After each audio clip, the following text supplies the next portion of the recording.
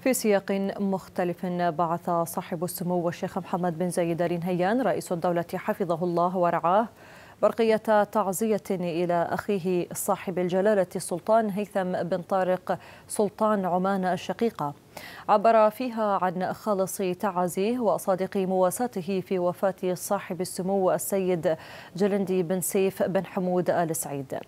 كما بعث صاحب السمو الشيخ محمد بن راشد المكتوم نائب رئيس الدولة رئيس مجلس الوزراء حاكم دبي برقية تعزية مماثلة إلى صاحب الجلالة السلطان هيثم بن طارق سلطان عمان الشقيقة.